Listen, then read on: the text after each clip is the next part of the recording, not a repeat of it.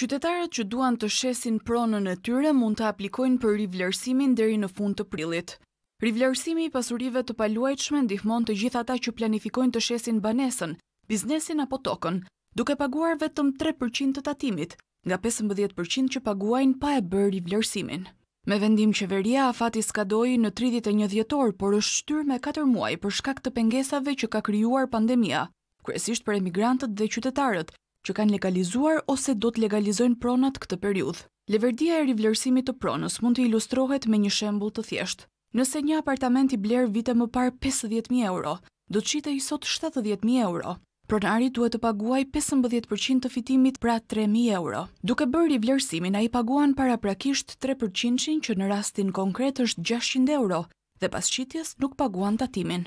Individët mund të aplikojnë në e-Albania për këtë shërbim ose në zyrat e ekspertëve të liçensuar për vlerësimin e pasurive.